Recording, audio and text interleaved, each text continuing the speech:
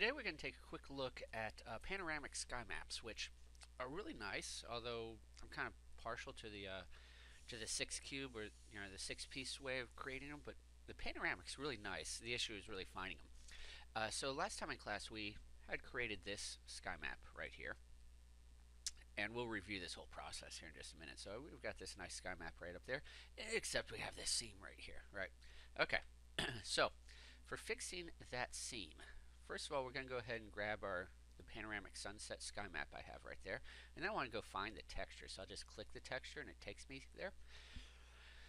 Usually, usually, like remember our six cubes, usually when you're dealing with a seam like this, you fix it by going to wrap mode and turning on clamp. And what this is doing is uh, basically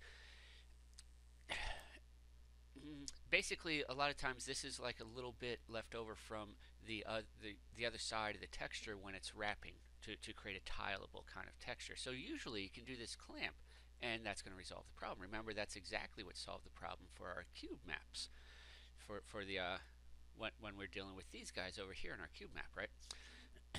but uh, you can see that didn't solve the problem. Okay, so another thing we can do, we'll put that back to repeat and just leave it there, is in the advanced section right here, I can open up the advanced section and I can turn off MIP maps. Now what MIP maps are doing are they are creating uh, smaller textures for use with uh, potential LOD. Okay. Um, and I, I, don't really want to go too much further into it than just that. They're, they're essentially being used for LOD kind of stuff. Well, that makes perfect sense, right? Uh, you know, generally, if you're further away from something, you'd probably like a lower res texture, so you're not using as much texture memory, or and your game performance is going well. But if you're dealing with a sky map, well, no matter how far away you are from it, you really only want to see this one version of it. So I'm going to go ahead and turn the MIP map off, so we don't generate that, and hit apply. And you can see that gets rid of my seam. So now, when I come in here, my seam is gone. Okay, so there we go. That's that solution. So that's got that fixed. So let's go ahead and, and kind of review that whole process for creating this uh, panoramic sky map. Now what I'm going to do is I'm going to go to uh, CG Skies uh, because, well, it's the first one I think of with panoramic skies. Now you're free to go to um, Google and you know search for other ones. Just do uh, panoramic sky texture maybe, or just panoramic sky, whatever, and search around. Uh, try to stay within powers of 2 uh, remember, textures for our games prefer to be powers of 2. Uh, you could always pull it into Photoshop and resize it to a power of 2. Or you can do some eh, twiddling over here, but you know, shouldn't really need to do much over there. Just power 2 is going to be a whole lot better, uh, especially with repeating and things like that. Okay, so I want to go ahead and check out my CG Skies here. And, oh, what do I want to do? Let's go after do I want to do a dusk one? Well, that's kind of what we have there. Let's go after an overcast one. And, I don't know, I'd kind of like to get like a an angry storm or something. Or any kind of storm. That'd be fine. Uh, any of these look like a storm? That kind of does. Maybe I'll go with that one. Okay, yeah, let's go back. Let's grab this guy right here.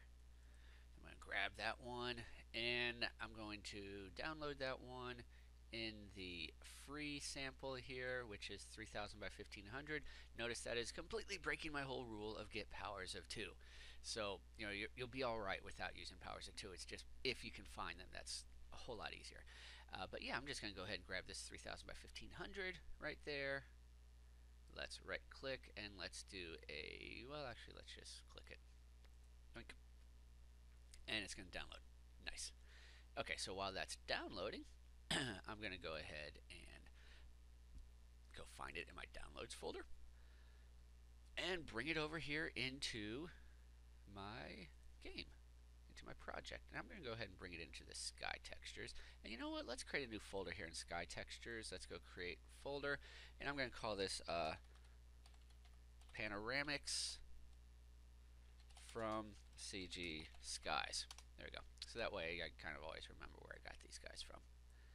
Alright, and I moved my other panoramic into there. So let's go ahead and import. So I'm just going to grab my other CG Skies one and just drop it right there. So I've got it right there. Okay, so now let's create a, oh boy, I've got all these, no folders. Wow, this drives me batty. Let's create a folder, and I'm going to call this folder materials, and then inside that folder, I'm going to create another folder. I'm going to call this sky maps, and let's just go with cube, this one, this one, and that one, and I'm going to put those into my sky maps folder. There we go. And then I'm going to go ahead and create a folder for my scenes. I don't want it there. I'm going to pull it down to here. Put my Lord of the Flies scene in there. And let me create another folder, create a folder for my terrains. There we go. Grab both of these guys and drop them in there. Okay, there we go. Nice. Oh, what am I doing? Oh, I'm making a sky map. Okay, so I'm going to select my sky maps, go create um, material. Yeah, create material. I'm going to go ahead and change this shader over here from standard to a skybox, and we're going to use this panoramic.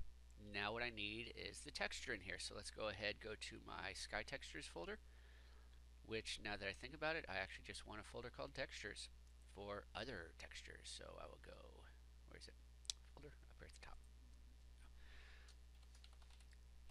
textures and that will include my sky textures as well as these ground textures that we imported last time you know, uh, in class and yeah and all of a sudden this really short simple video on just creating the panoramic sky map is doing all this other stuff but um, it, it's really important to pay attention to your folder structure not let this explode so while it's still kind of small and somewhat manageable, go ahead and make some of those changes. So let's go back to my new material.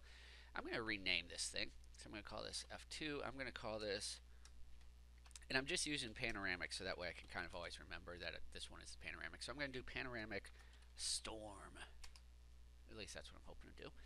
And let's go down to our textures. Go into our sky textures, and this CG Skies 334, this is the one that I just downloaded. I'm going to put it over here. Okay, so now I've got my sky map ready to go. Let's go ahead and change which sky map we're using. So we'll go to Window, Lighting, and Settings. Let's change our skybox material right here to my panoramic storm. There we go. And now we will start doing some tweaking on this. And while I'm here, instead of calling these sky maps in my materials right there, let's change that one to skyboxes sky, just to be universally consistent there. There we go. Okay, so I've got my seam. So let's go ahead and get that seam fixed. I'm going to click my texture, go select it. Let's turn off our MIP map. Looks good. Let's apply this. And my seam is now gone. Okay. I want to try to do some more stuff with this. So let me go back to my panoramic storm. Let's see. What? Let's try. Let's play around with these. Okay, if I crank up my exposure, see, I'm getting overexposed basically, or underexposed. I'm gonna, I'm gonna leave that at one. Now I could rotate this. Zoom, you know, maybe I want the uh, light source to be in a different location. In this case, I kind of do, so I'm gonna like put it over that way, maybe. All right. And let's change our tint color on this just to see what happens. So I'm going to come up here to my tint color. I'm going to go kind of orangey.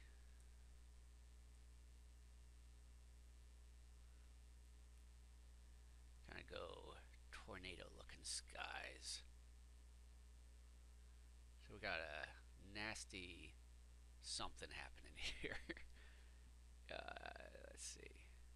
Maybe like that. What if we went with blues on this? Okay, that's just weird. Ooh, purple. Yeah, that's that's a winner. Yeah, let's go back to this this orange. Right about there. Okay.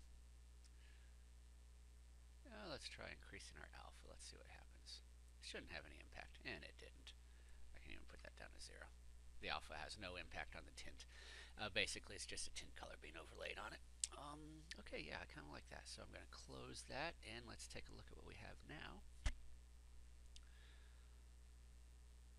Okay, so there we've got this different kind of sky going on. uh, my light, my world light just doesn't work with this. So let's go ahead. And when you're on your first person controller right there, if you hit escape, you get your mouse back. So let's go ahead up there. And let's go to my directional light. And I'm going to change this color. Uh,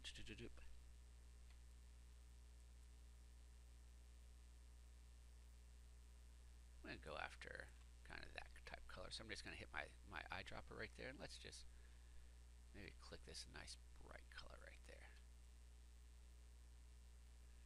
Okay, now let's soften that. That's going to be too dark, so I'm going to go maybe that way with it. Alright, now how does this look? Okay, there we go. Now I'm getting a little bit more color happening here. Alright. Oops, I want to make sure that I can still see. There we go. And then once I click somewhere, it'll stop, you know, rotating around. So go escape. And I'm going to come over here and just click, like there. There we go. Alright. Uh, let's see. Well, we haven't really done lighting in class yet, so I don't really want to start going through here and doing a whole bunch of other stuff. But, uh, I kind of want to do a little bit at least. Let me drop my intensity down There we go. So it's not as bright as it is. And yeah, I'll just kind of stop there. So now I've got this, and, and I'm almost bringing in like a haze to it as well, just by dropping that down. And I haven't even added uh, fog into this, which of course I'm going to have to add at some point in time. All right, so there we go. So playing around with our light a little bit and getting a panoramic sky map going. Uh, longer than I meant it to be because I ended up doing other stuff that I thought I wasn't going to do. But any questions, just feel free to let me know.